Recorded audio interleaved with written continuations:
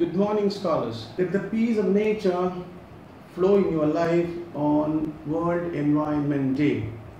I wish you a happy World Environment Day. Thank you. everyone, this is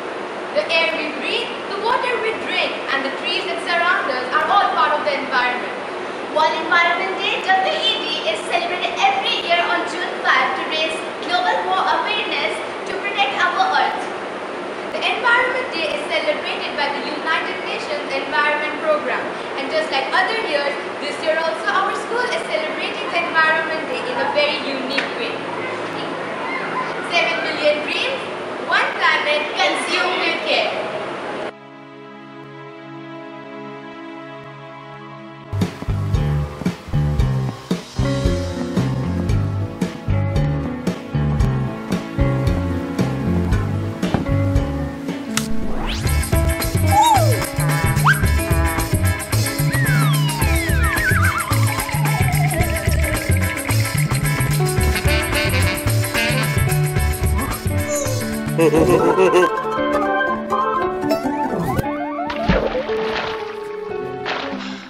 topic for today is water pollution. Contamination of water by harmful substances which affects life on earth is termed as water pollution. Due to human activities, our water is getting more and more polluted day by day. Household garbage is disposed into various sources of water. Many people perform their domestic activities like bathing, washing clothes and utensils, etc. in these sources of water. La la la la la la la la. Also, industrial wastes are discharged into the water, leading to water pollution.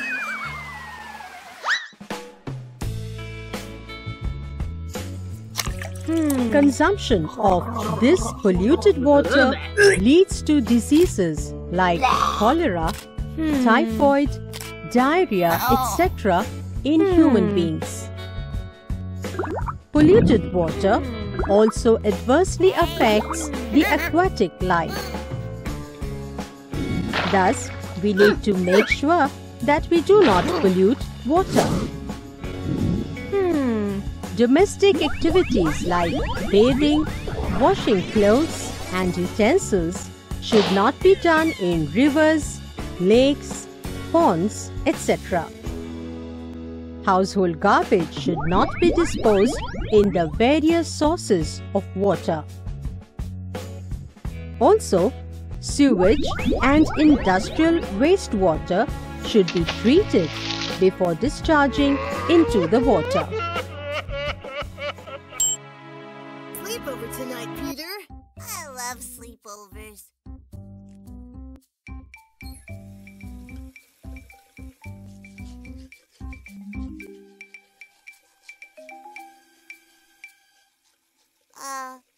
Chris, you should always shut off the water when you're not using it. But how will I brush my teeth without water? All you need is just enough to get your toothbrush wet, like this. Why do I need to do that? There's water everywhere. In oceans and lakes and streams and even when it rains. Well, you're right, but not all that water is safe for us to drink. Here, imagine this. If you took all the water in the entire world and put it in one big pool, it would look like this. See? I told you that's a lot of water. It might look like a lot, but of all that water, only a tiny bit is safe for us to drink and use every day. Oh, that's not very much at all. No, it's not. That's why we have to be smart about how we use it. Wow, you're right, Peter. I didn't think of that. It's always smart to save water. Where else can we save water? Well, we can save water by taking a short shower instead of a bath. And by sweeping up dirt outside instead of using a hose. And I always tell my dad when I find a faucet that's dripping so he can fix it. Dripping faucets waste a lot of water.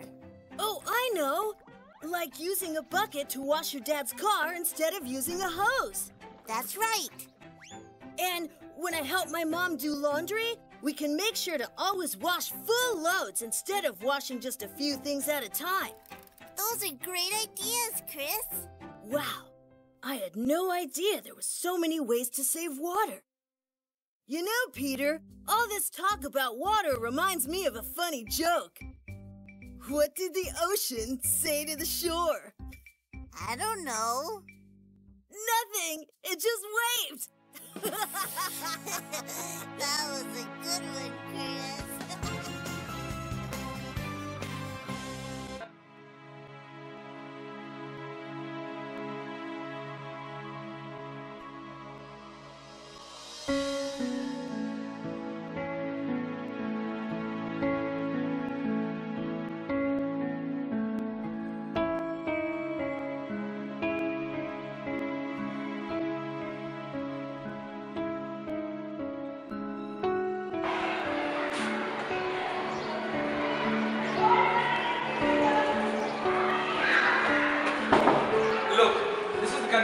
Nowadays. People waste water. So as a human being, we should do our maximum to preserve drinking water.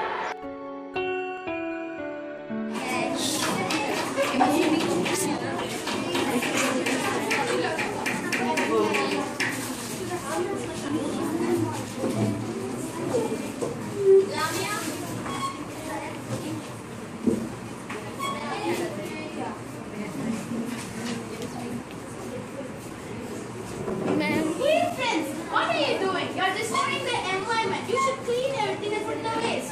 Oh, I'm sorry. I will, I will not repeat it again. Now to take it and throw in the dustbin.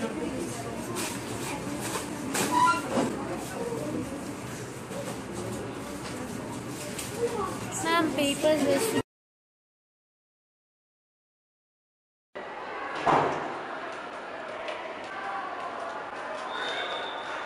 Hey, stop, stop. Look at the class. And you also can stop. Stop. Both these children are doing. All the lights, fans and ACs are on. They are wasting their energy. This is what we should not do and what we are doing. So, today's scholars is celebrating the Environment Day. As you know, it's June 5th. Today, let's try the wheel of life skills. Let me get what I'm gonna. Ah, I got waterfall plants. So let's get into it. Hi friends, and my name is Ash and I am from grade 3D. Today I am going to tell you about plants and trees. Trees give us oxygen. All living creatures on earth, human beings, need oxygen in order to live. Trees give us food. They give us fruits and nuts to all human beings, birds and animals. They also give us medicine to make us feel better. Plants are very important to us. We must take care, good care of them.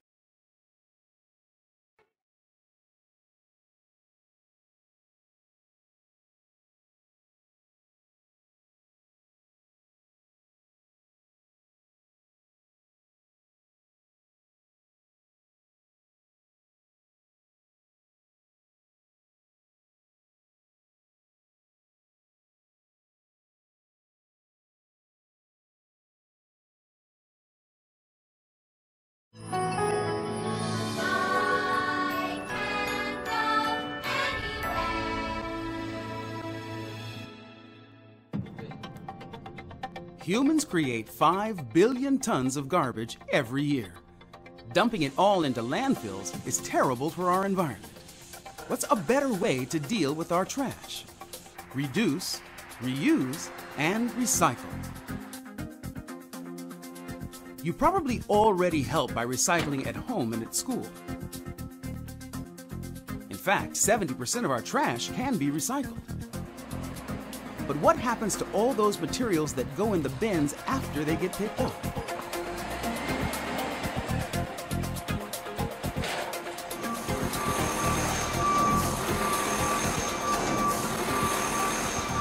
I'm here at E.J. Harrison and Sons Gold Coast Recycling in Ventura, California.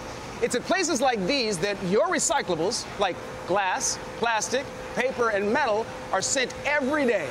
Let's take a look at the life cycle of your reusable trash. Let it go, Mario!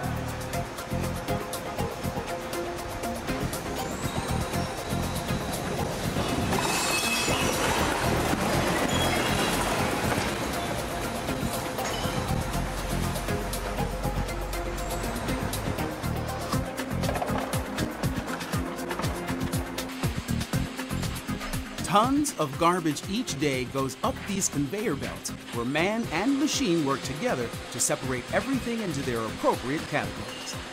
First to be separated is cardboard, a material that's easy to reuse again once it's cleaned up.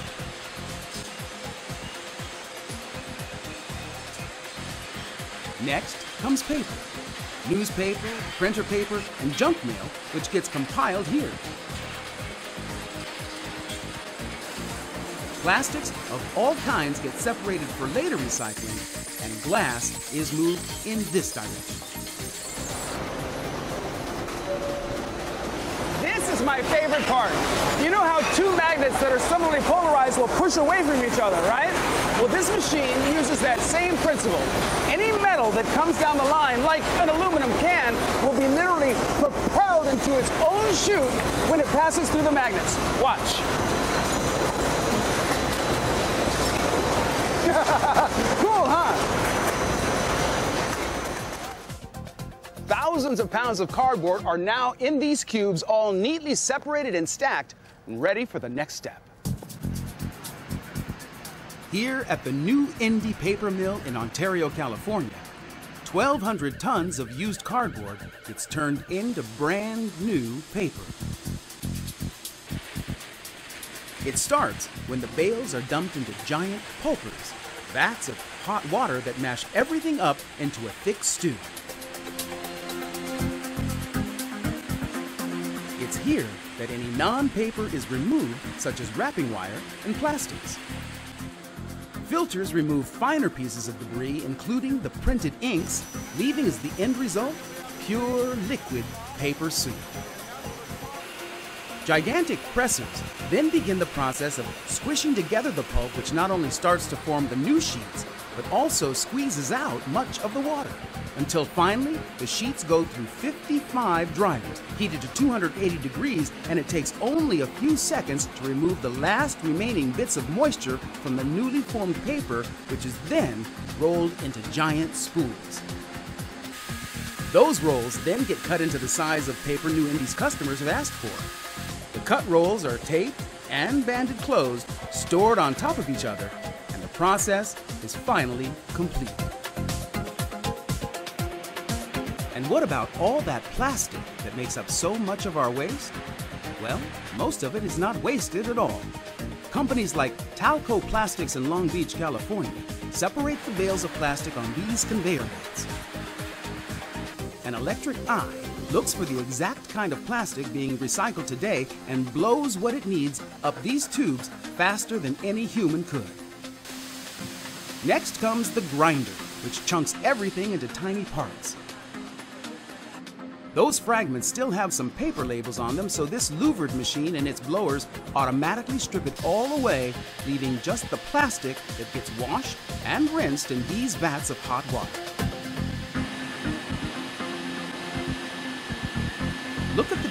Between the clean and dirty plastic. Notice that the plastic is still all the colors of the rainbow? At the next stage, it all gets superheated and melted together. Just like when you mix all your markers or crayon colors, you get gray. The same thing happens here.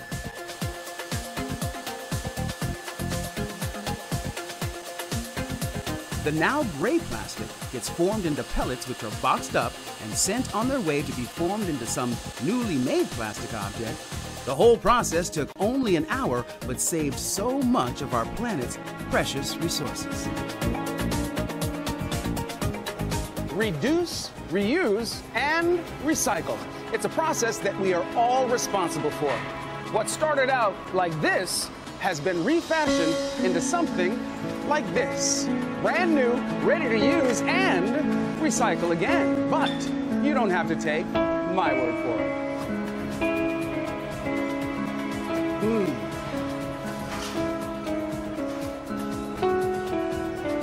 See you next time.